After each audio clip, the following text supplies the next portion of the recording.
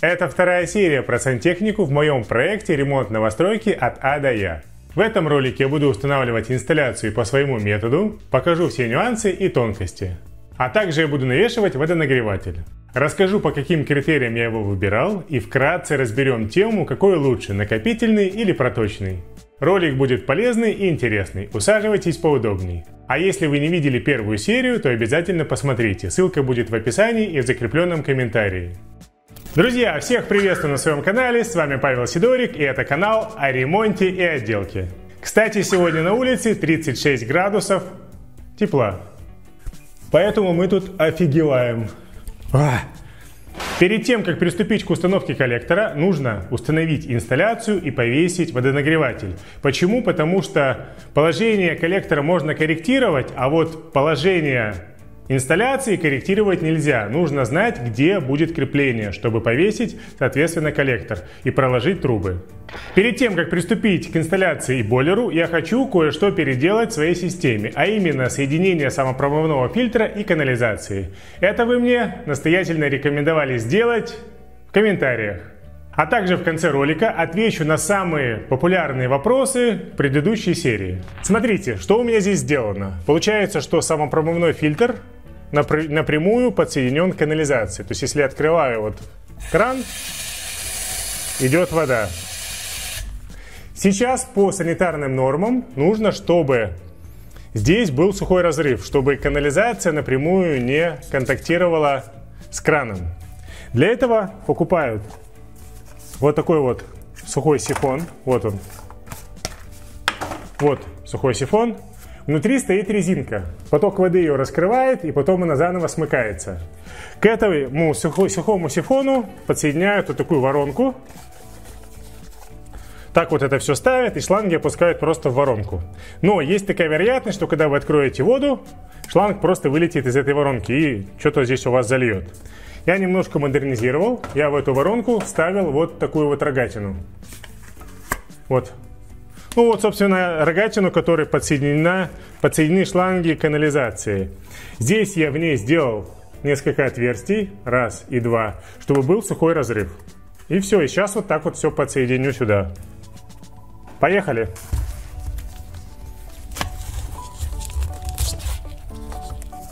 Два уголка по 45.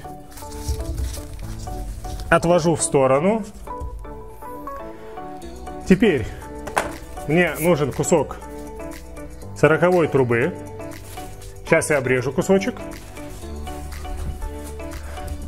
А, вставляю переходник.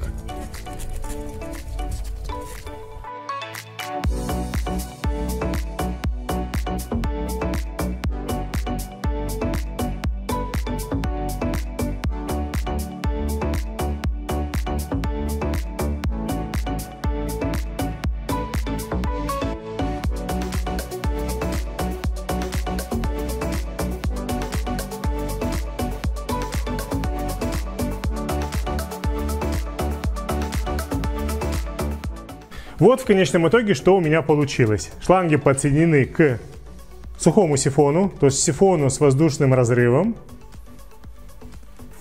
Сливается вода.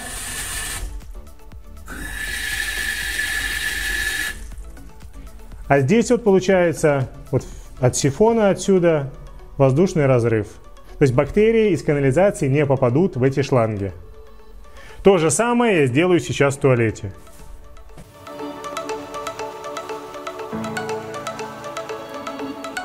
Начинаю с водонагревателя.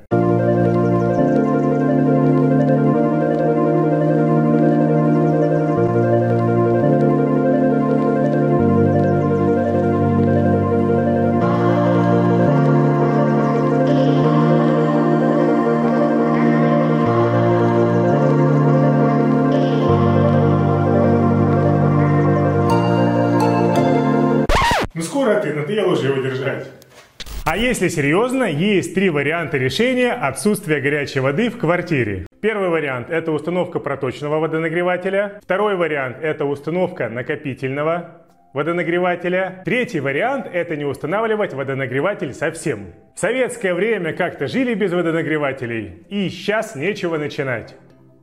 Это ж деньги надо тратить.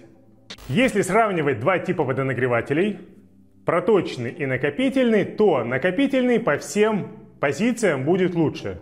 Он более удобный в работе и может обслуживать большее количество точек. Проточный нагреватель я рекомендую ставить в тех случаях, если у вас реально нету места в квартире, чтобы поставить накопительный водонагреватель с баком.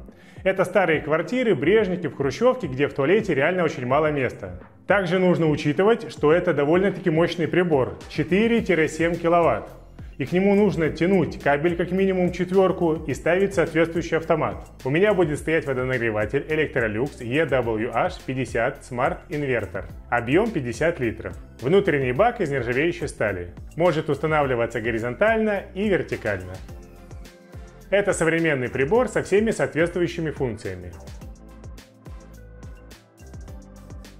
Сама установка относительно простая. Бойлер вешается на два крепления, вертикально или горизонтально. В комплекте идут мощные анкеры. Самое главное все точно разметить, а потом уже сверлить отверстия.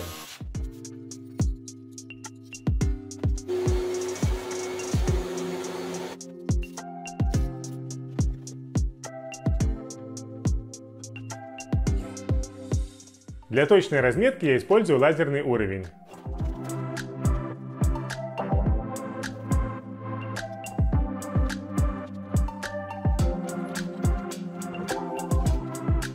Немного подбиваю крепление, чтобы водонагреватель висел по уровню. Этот водонагреватель относится к категории хороших. В нем есть система сухих тенов, встроенный Wi-Fi модуль для удаленного управления нагревом воды, теплоизоляция 35 мм и инверторное управление повышают энергоэффективность.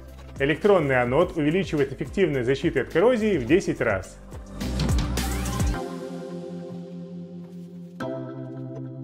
Водонагреватель установлен. На всю работу у меня ушел примерно 1 час. Остается сделать только обвязку.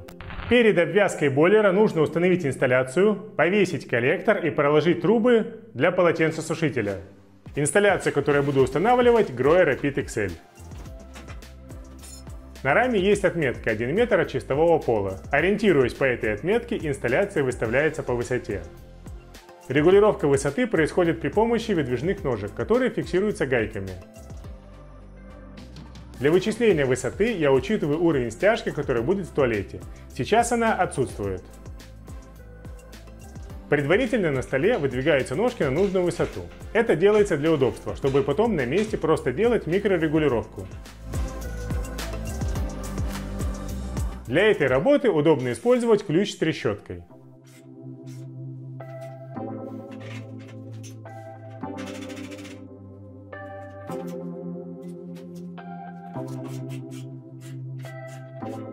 Теперь нужно разметить, где будет стоять инсталляция. Для того, чтобы рисовать на покрашенной стене, я использую малярную ленту. Ширину помещения делю пополам и ставлю необходимые отметки. В этой работе удобно использовать лазерный уровень. Как видите, у меня их даже два.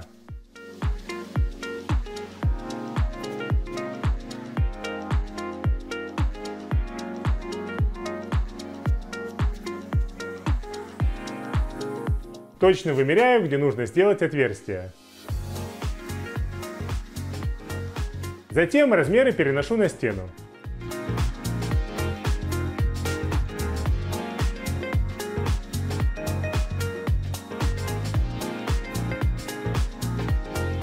Разметка готова. На стене я даже наклеил контур будущей изоляции малярной лентой. Если вы ошибетесь разметкой на несколько миллиметров, это не страшно. Эту погрешность можно компенсировать шпильками. Это места, где я буду делать отверстия под крепление. Крепления, которые идут в комплекте, мне не нравятся. Шпильки короткие и тонкие. Сами крепления не очень удобные. Если нужно быстро снять и поставить инсталляцию, то с такими креплениями будет очень много возни. А в процессе прокладки труб и сборки канализации инсталляцию нужно будет снимать и ставить как минимум три раза. Лучше использовать более мощный анкер с резьбой, усиленную гайку и шпильку 10 мм. Плюс гайки и шайбы. Просверливаю отверстие сначала тонким сверлом, затем сверлом 12 мм под анкер.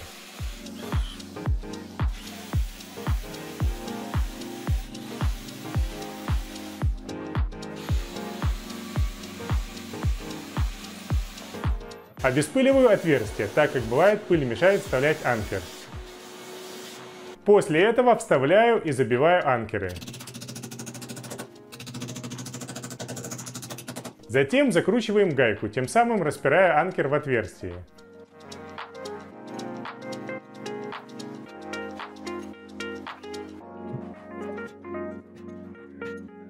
На резьбу накручиваю усиленные гайки и затягиваю их. Лишнюю ленту можно убрать.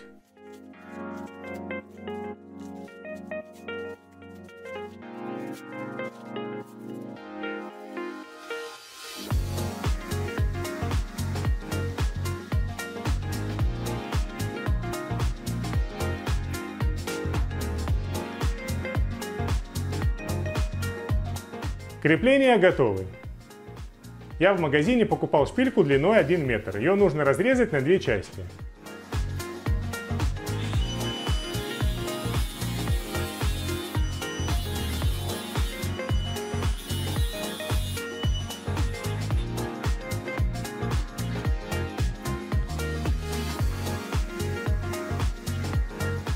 Накручиваю по две гайки на шпильку, чтобы ее можно было закрутить с усилием. Гайки стопорят друг друга и не прокручиваются.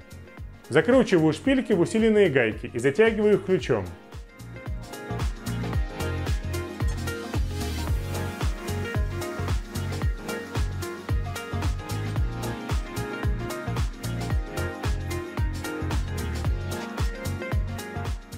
При помощи двух ключей раскантриваю гайки и снимаю их.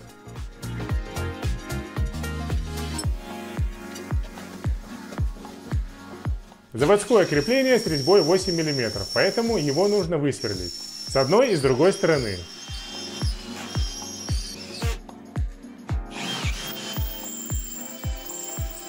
Накручиваю опорные гайки вместе с шайбами, на которые будет опираться инсталляция.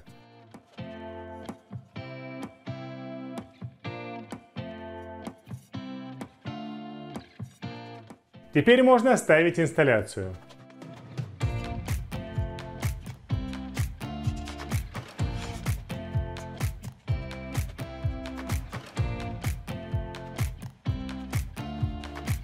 Сверху инсталляцию зажимая гайкой с шайбой.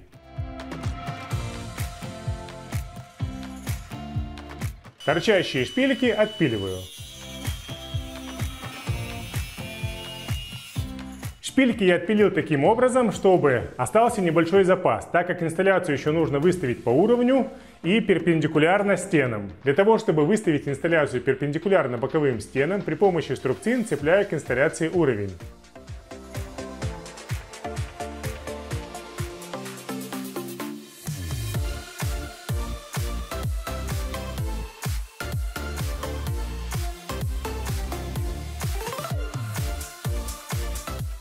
Затем рулеткой отмеряю расстояние от противоположной стены. Так как я штукатурил санузел с учетом правильной геометрии, это все меряется очень просто.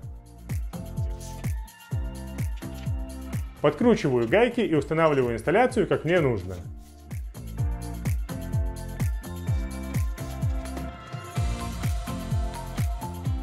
Также непосредственно нужно установить саму раму по горизонтальному уровню и вертикальному, учетом высоты будущей стяжки и напольного покрытия. Кстати, установка инсталляции не по уровню и на неправильную высоту, наверное, самая распространенная ошибка.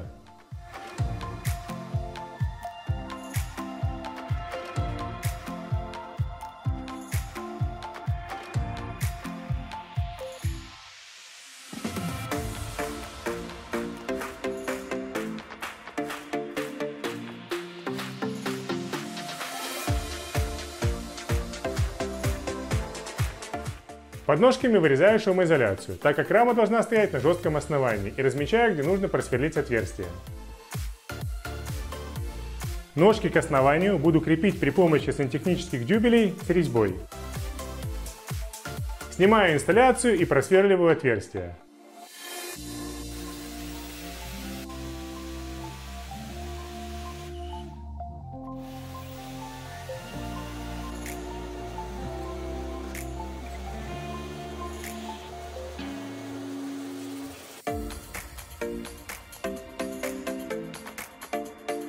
Дюбель закручивается при помощи звездочки.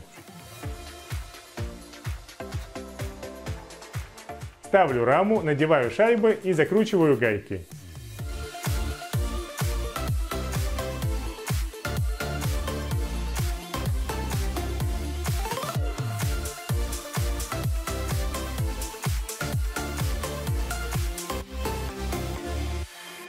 Перед тем, как полностью затягивать, нужно перепроверить уровень. Рама установлена.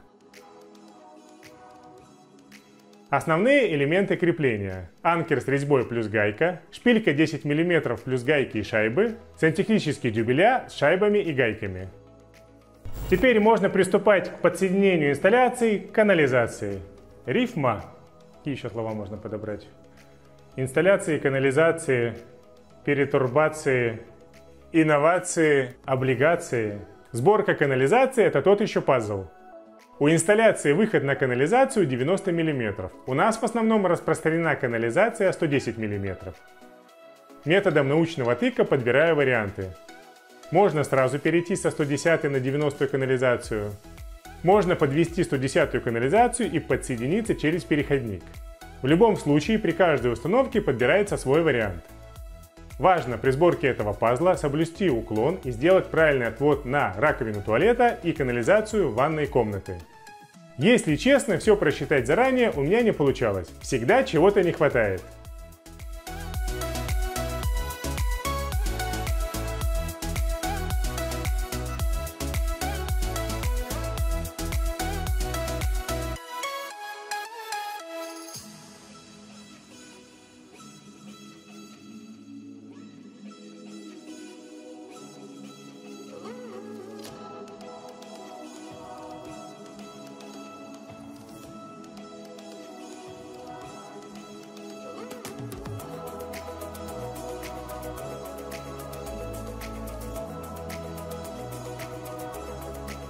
Каким образом я подсоединил инсталляцию к канализации? Здесь идет выход на 110 мм, этот отвод к фильтру промывочному, переход на 90, отвод 45 на непосредственно саму канализацию. Дальше идет раздвоение на ванную комнату и на умывальник туалета. Здесь переход с 90 на 50, здесь просто отвод 50 и дальше он пойдет в стену сюда. В общем, инсталляция установлена. Подсоединение крана к инсталляции будет тогда, когда мы повесим коллектор. А сейчас ответы на комментарии к предыдущему ролику. В комментариях к предыдущему ролику писали, что вот эти вот гидрокомпенсаторы ставить нецелесообразно, потому что у меня стоит редуктор, и, соответственно, редуктор не пропускает гидроудар. И вообще, что они начинают работать от гидроудара в 10 бар. Эти гидрокомпенсаторы ставятся чисто в систему квартиры. Они гасят гидроудары, которые образуются от смесителя. Если вы замечали, когда бывает выключаешь смеситель, трясутся трубы. Это вот пошел гидроудар от смесителя. Именно для этих целей они и нужны. Никакого отношения к общедомовой системе они не имеют. Почему у вас не получится воровать воду с грязевого фильтра? Потому что грязевой фильтр, он пломбируется вместе с счетчиком. Вот они стоят вместе, и они вместе пломбируются. Вы не сможете с пломбой его открутить. Еще писали, что редуктор давления нужно ставить перед счетчиком. Это очень хорошая идея, но, к сожалению, у нас водоканал не разрешает ничего ставить перед счетчиком, кроме грязевых фильтров, которые пломбируются вместе со счетчиком, и водных кранов.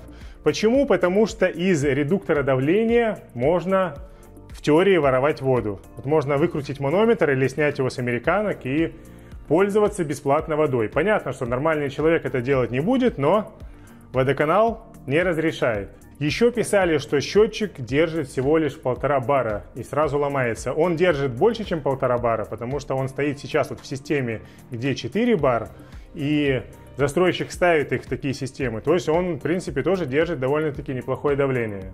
Еще один популярный комментарий, что вся эта система стоит очень дорого. Тут вопрос э, стоит так. Если у вас есть деньги ставить такую систему или делать ремонт, делайте. Если нету, не делайте. Потому что чаще всего, когда у человека нету денег, он говорит такую формулировку, что это все не нужно, это все фигня, это все говно. А это примерно по аналогии, что если у человека есть деньги, он покупает какую-то люксовую машину, там, хорошего бренда. А когда у человека нет денег, он покупает машину, ну, самую-самую дешевую, и говорит на тех людей, которые ездят на дорогих машинах, что они дураки, они ничего не понимают, только тратят зря деньги. Это примерно то же самое. Вообще ремонт в квартире, он сам по себе дорогой. Стоимость ремонта, ну такого условно в кавычках евро ремонта, это примерно треть стоимости квартиры. Ну как-то так.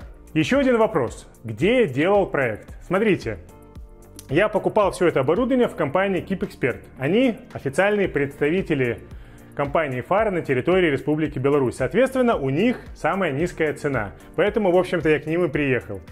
Если вы у них покупаете оборудование, они вам бонусом делают бесплатно проект. В общем-то, этим я и воспользовался и сделал себе проект. Что касается покупки защиты от протечки Нептун, ее можно купить по моему промокоду. Промокод будет в описании «Ремонт без потопа» со скидкой 15%.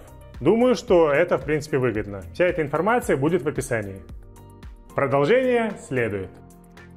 Ну что, ролик подошел к концу. Если вам понравилось, то, конечно же, ставьте лайк, подписывайтесь на канал, пишите комментарии. Желаю всем хорошего настроения и кондиционер на стройку. У нас 36 градусов за бортом. Пока! Know you've been a good friend, thin.